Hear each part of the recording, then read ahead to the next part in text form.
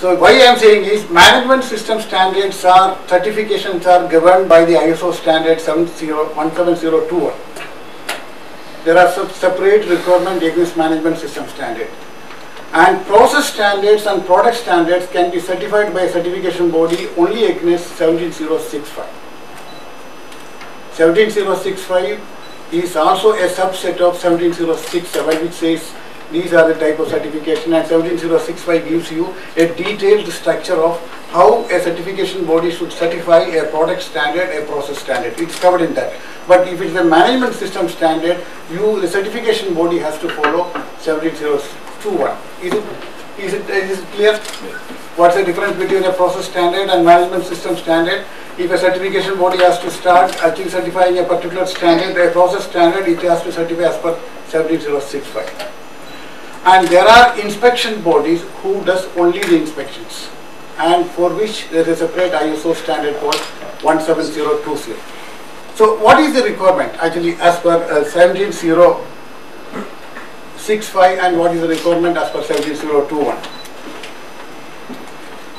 Management system standard I told you it's a generic in nature and that is why 17021 when it is revised in the last year 2015 the requirements of a particular requirement has been brought in 17021. That is, because it is generic in nature, if you certify as per 17021 or 2011 version, you may not have an expert in that particular area or you may not call him as an expert to do that particular audit.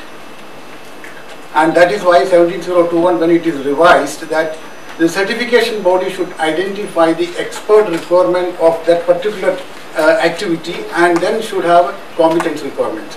This is uh, this has come in the revised standard. But if you take 17065, 17065 is for process standard or a product standard which are very specific.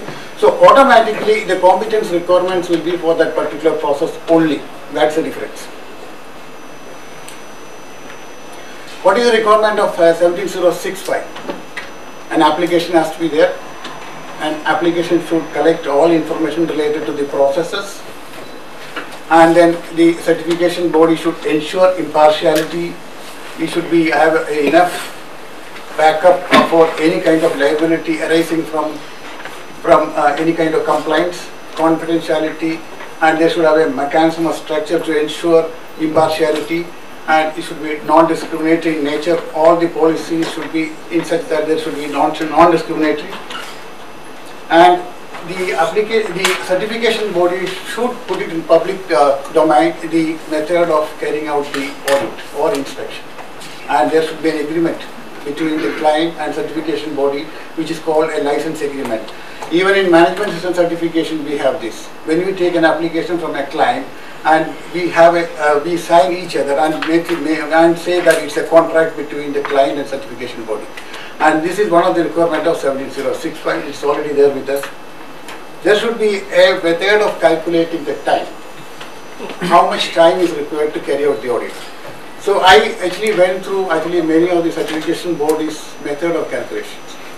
There are some certification bodies says that if a party is applying for 9001 plus pre-mixed concrete certificate, certificate of conformity, then they will calculate the time based on the 9001 plus one more day.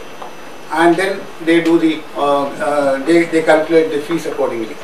So that means actually we can also do the certification for any, any, any client. If you apply to us BIS, we can give 9001 certification free of cost, plus we can also give the certification for premix concrete because all requirement of 9000 will be automatically taken care when you do the certification of premix concrete as per this standard particularly.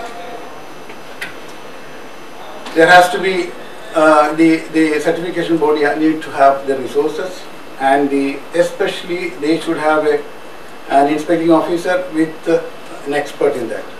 So you need to actually find out what exactly the specific requirement for pre-mixed concrete in a process standard is always available. So you look into the standard and then you will find there are around 13 areas where a person should be knowledgeable. Plant, equipment and other utilities, laboratory, raw material, water, concrete mix design, process control, delivery, compliance, resource, safety requirement, transport requirements, QC requirements and records. or you can even write down something more. The more and more you write down here and write down actually the technical requirements here, that makes the difference between a good and bad certification. And you evaluate your auditors based on this. You carry out the audit based on this. All your basis of audit and evaluation will depend on this.